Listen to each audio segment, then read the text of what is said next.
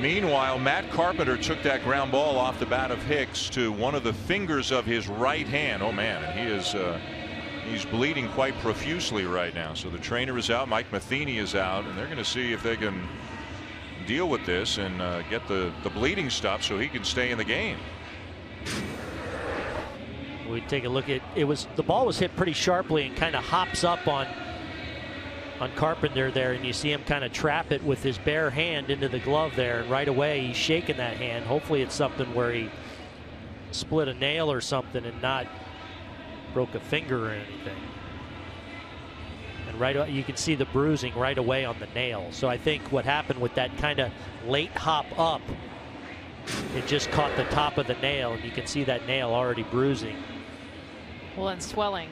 I think yeah. the concern would be making sure that he can grip a baseball bat. Yep. Especially with the bottom hand.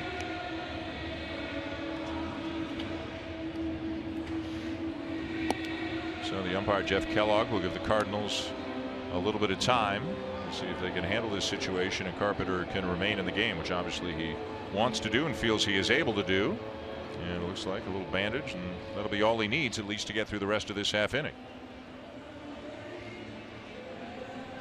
Let's have another look and listen to that ground ball off the bat of Hicks.